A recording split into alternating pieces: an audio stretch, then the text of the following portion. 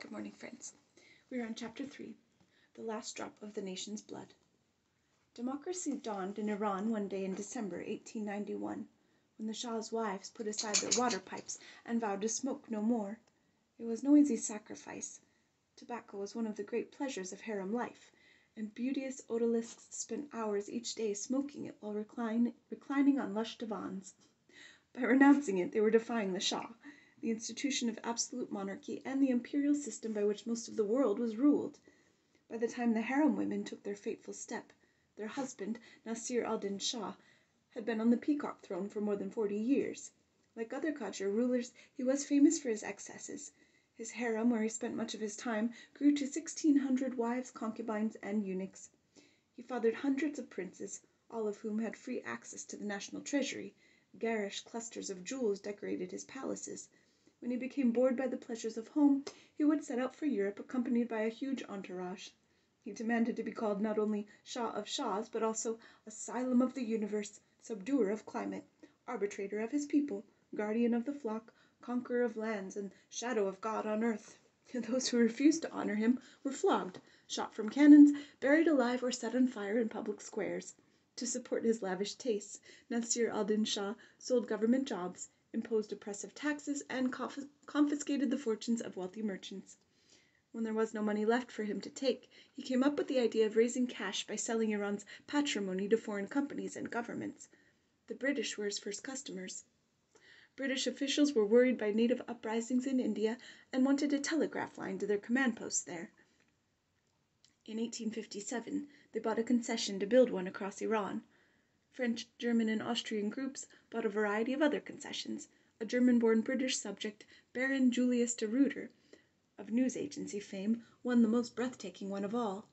In 1872, for a paltry sum and a promise of future royalties, he acquired the exclusive right to run the country's industries, irrigate its farmland, exploit its mineral resources, develop its railroad and street car lines, establish its national bank, and print its currency.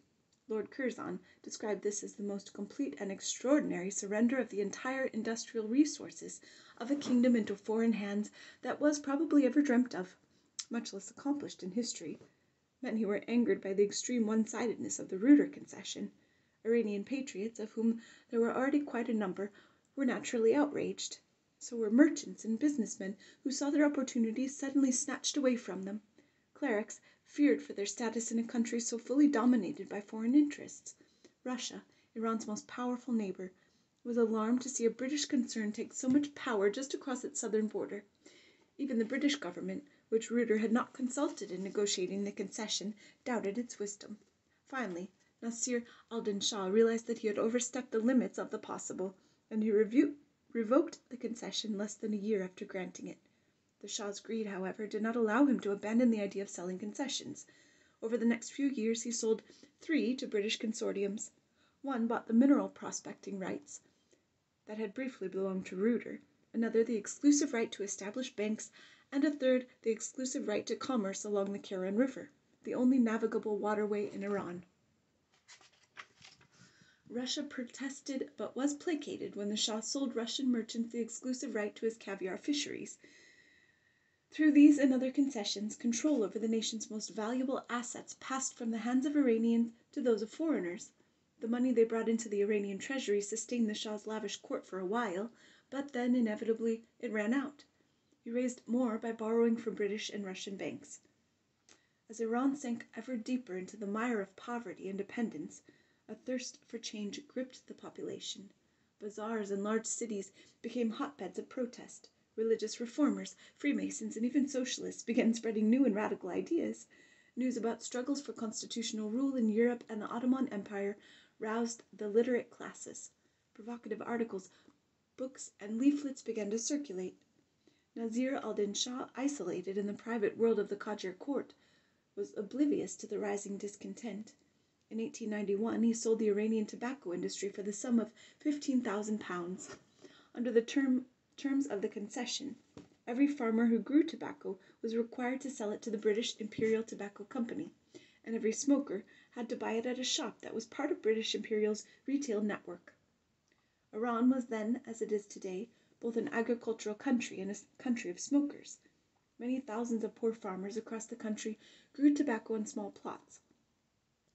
A whole class of middlemen cut, dried, packaged, and distributed it, and countless Iranians smoked it. That this native that this native product would now be taken from the people who produced it and turned into a tool for the exclusive profit of foreigners proved to too great an insult.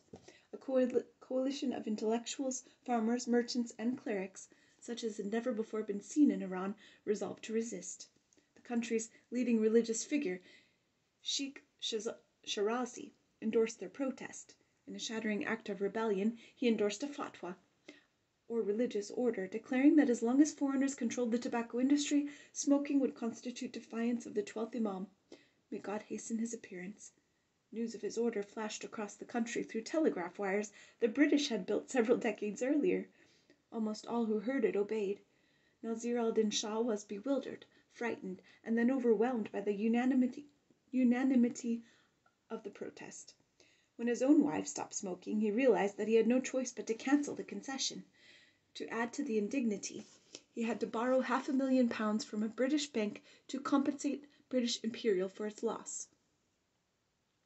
History changes course when people realize there is an alternative to blind obedience. Hmm. Martin Luther's challenge to established Christianity the storm of the Bastille during the French Revolution, and the Boston Tea Party were such moments. For Iran, the beginning of the end of absolutism came with the tobacco revolt. It ushered in a new political age. No longer would Iranians remain passive while the Qajar dynasty oppressed them and sold their nation's patrimony to foreigners. So cool. Have a good day, friends.